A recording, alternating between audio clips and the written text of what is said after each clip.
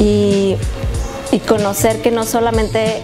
puedes estudiar y, abarcar ah, ciertas técnicas, ya sea en la belleza, sino que también te lleva a conocerte a ti misma, qué es lo que te gusta y qué es lo que puedes lograr en un futuro.